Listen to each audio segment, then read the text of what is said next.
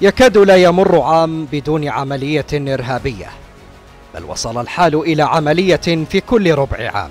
هكذا وصف ولي العهد الأمير محمد بن سلمان آفة التطرف والإرهاب. ولي العهد تطرق لملف الإرهاب قائلا في بداية حديثه بأن هذه الظاهرة هي بيننا بشكل مستشر وقد تعايشنا معها. ولكن استطعنا خلال عام واحد من القضاء على مشروع صنع على مدى أربعين عام. الأمير محمد بن سلمان.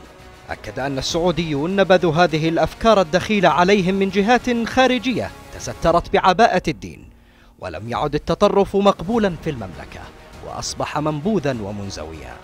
خطاب الكراهية هو الدافع الرئيسي لتجنيد المتطرفين وذلك يشمل الخطاب الذي يستخدم حرية التعبير وحقوق الإنسان كمبرر.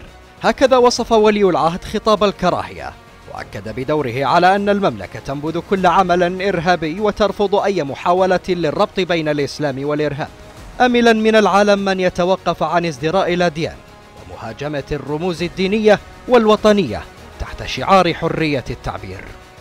المملكة تصدت لكافة أشكال التطرف والإرهاب بل أحبطت كافة المشاريع وألقت القبض على من سولت له نفسه لفعل ذلك.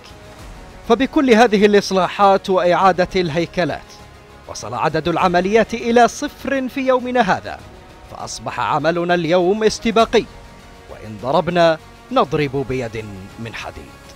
لقناة الإخبارية محمد السيان.